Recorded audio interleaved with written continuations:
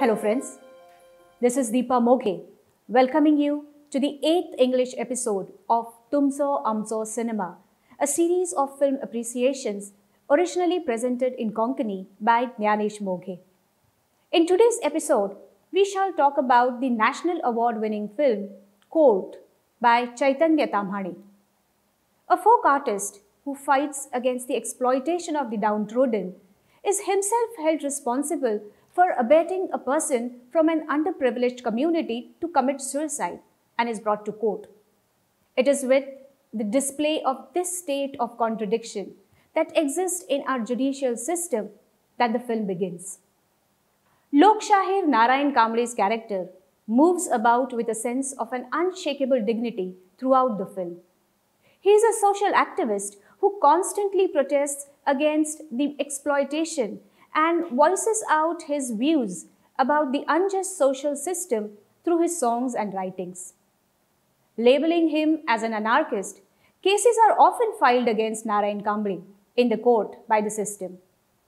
Though this film begins with the scene of Narayan Kamble's arrest, and though he is the central character, the film is not about Narayan Kamble, but it is a strong effort to dissect the entire judicial system and rip off naked the true nature of it. No doubt, court is one place where the judicial system is in a mess. But this film brings into sight the fact of how an ordinary person can also act unjust when he becomes judgmental. Let us consider the scene where Narayan Kamble's son and his lawyer arrive at the police station to inquire about Narayan Kamble after his arrest. We see them waiting there for a person sitting in front of the police officer, busy filling some form to get up. The man is utterly indifferent to the fact that there are two people waiting there to inquire about a matter and that he needs to vacate the seat for them. It is only after the police officer requests him to go out and fill the form that the person leaves the table, which he could have otherwise done on his own. Only after listening to the police officer, when the person gets up from the chair, Narayan Kamble's son and his lawyer are able to sit down. They are then told that Narayan Kamble has been shifted to another place as there is no lockup facility at the police station.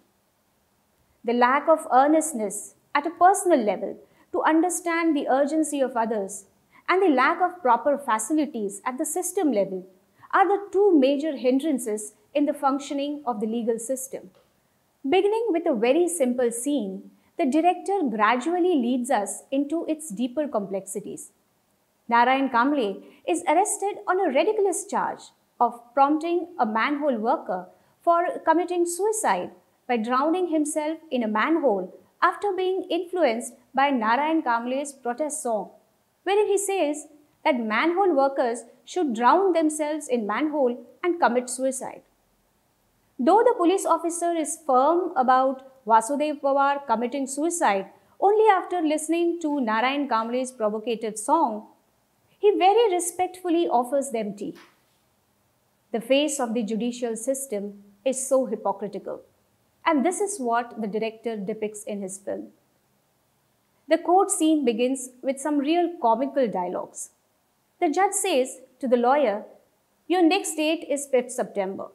The lawyer says, Sir, I have to go to my hometown in September. At this, the judge says, In that case, take a date in October, okay? The lawyer replies, Okay, thank you, sir. The entire conversation reveals the synergy that is unfortunately missing between the legal proceedings and the time that it consumes. If one tries to understand the watch theft case, one will realize that these legal proceedings in the courts are mere play of skillful interpretations. But every member there in the court is a part of this play and is fully aware that this play has to be played with absolute seriousness. There lies the absurdity of it all. The director and the screenplay writer, in this manner, introduce the court system and its legal proceedings to the audience even before Narayan Kamble's case comes up for hearing in the court. One of the scenes in the film is a true analysis of human conscience. During an important speech on violation of rights organized by the members of the press community, which is in progress at a press bureau, suddenly someone just intrudes on the stage to fix a pedestal fan for the convenience of the organizing members. The organizers are least bothered about the interruption that is caused to all those present. This only goes to show how the press community, which is actually the fourth pillar of democracy, is hardly conscious of the fact that violation of rights can take place at this very level too.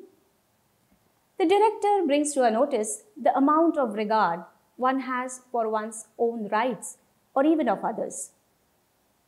The defense lawyer, who in public dedicatedly discharges his social obligations, lives a very affluent life at a personal level.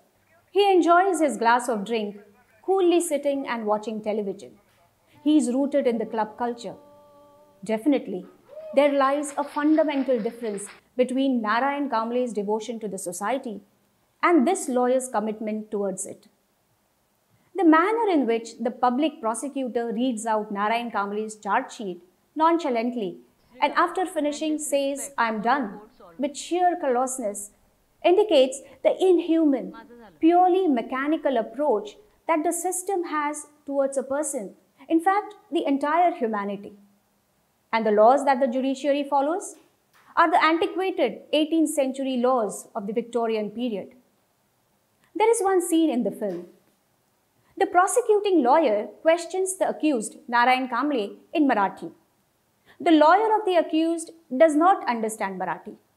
He requests the court to ask the prosecuting lawyer to speak to his client either in Hindi or in English. The accused says that he is more comfortable speaking Marathi. Now the judge interferes in the middle of all this and says that if required, he can translate whatever the accused is saying for them. The entire scene is completely out of accord. The prosecuting lawyer speaks the language of the accused. The lawyer of the accused is unable to understand the language in which his client can express himself. The judge, sitting in the court, suggests that he could translate whatever the accused wants to say for his lawyer, whereas the judge and the defense lawyer communicate in English. In this process of administering justice. What else can be more absurd than a situation like this? Besides, the judicial system not only gauges one's character by taking into account the crimes one has already committed in the past, but also by considering the ones he is probable of committing in the future. This woman, who is a dutiful public prosecutor in court, turns almost into an ordinary person after the court hours. Going home and cooking for the family is a matter of concern for her like any other woman out there.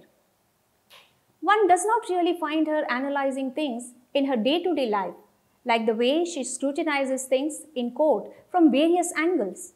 Like any other woman, she compliments her co passenger for her sari and even builds up an opinion about the merits of cooking oil by watching advertisements on television. She can be biased about one, just like any other person. I had warned not to trust anyone. After all, they are strangers, is the kind of advice that she gives to her relatives on phone. These kind of people who tend to become judgmental due to their ignoble mentality generally occupy important positions in the system of justice administration. This woman, who is a prosecution lawyer, once goes to watch a drama with her family. The drama is based on the tensions between the Maharashtrians and the non-Maharashtrians. You immigrants, you took our jobs from us. Then you took away our land. Now you want our daughters as well. Get lost, get lost. Saying this, the way the father of the girl drives away the non-Maharashtrian boy out of his house and later, the way the audience loudly clap and whistle to applaud the father's dialogue distinctly shows the mob psychology behind the concept of justice. Amongst those thundering claps, a few are of the public prosecutor also. There she is no more the public prosecutor who can analyze what is right and what is wrong, but is an ordinary woman who gets carried away easily by the feelings of the crowd.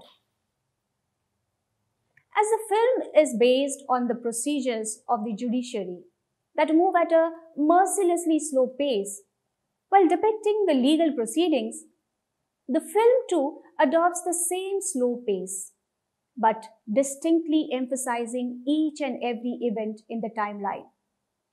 In one of the scenes, the judge refuses to hear the case of a woman who comes to the court wearing a sleeveless top. Though it is the law, it becomes clear that our legal system is in a way trying to portray itself as sober and morally upright. As the case progresses, once while leaving the restaurant he had visited with his family, the defense lawyer is bashed up and his face is blackened by some of the members of the Goimari community who are offended due to the comments made by him during a court hearing. The act of blackening the face does not actually take place in the frame, but while it is taking place, the restaurant is in complete sight of the audience. We see that the frightened security guard at the entrance runs and closes the main door from inside. Significantly, the name of the restaurant is Chetana, meaning consciousness, conscience.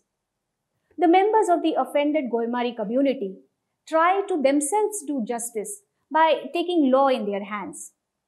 These kind of parallel courts are in existence at every level in the society.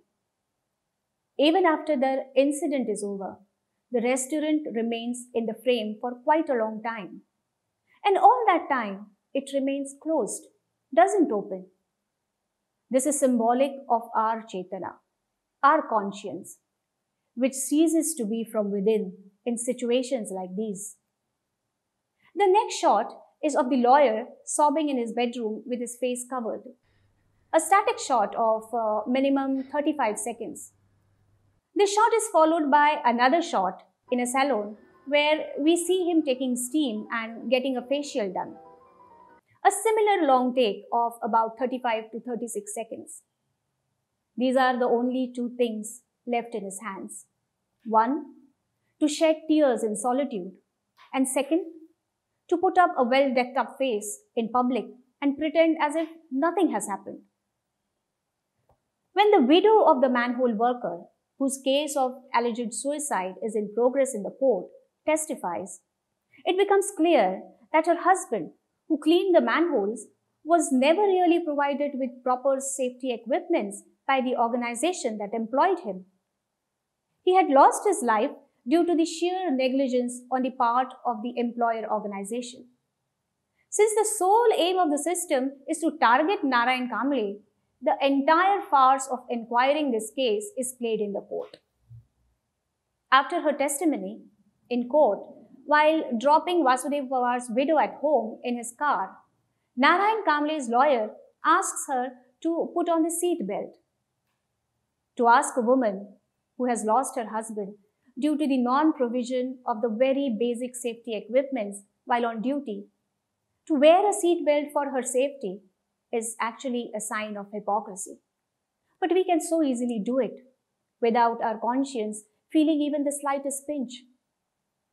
Through such small incidents, the director precisely points out to the very discord that exists between people. Narayan Kamble gets bail. He instantly begins with the protest propaganda through his songs again.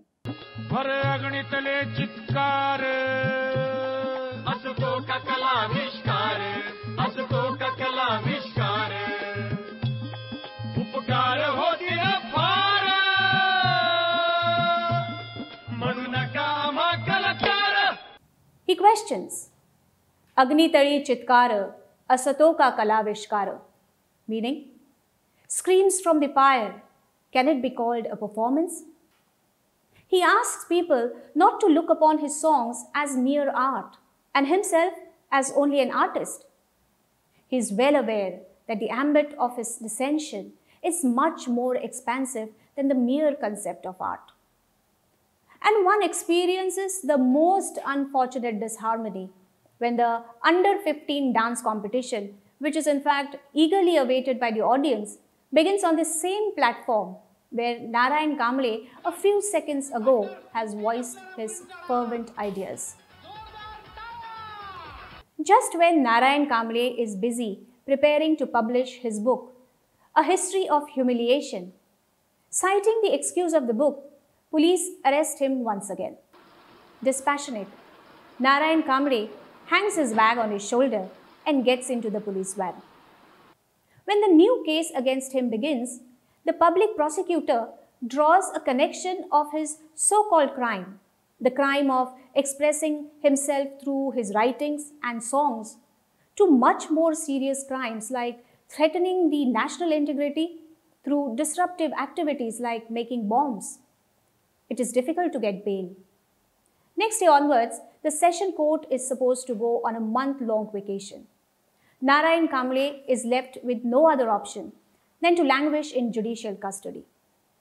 Saying, is that all? The judge adjourns the court. Everybody leaves the premises one by one. The court hall becomes empty. The court bailiff switches off all the lights one after another, leaves and closes the door behind him. The hall is now engulfed with darkness, a meaningful darkness. The director holds this darkness on the screen for a prolonged duration of 30 seconds.